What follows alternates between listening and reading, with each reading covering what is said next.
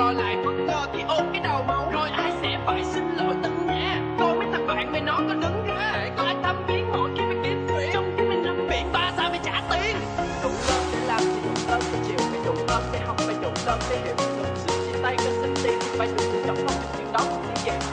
hãy để tâm hồn là thanh tươi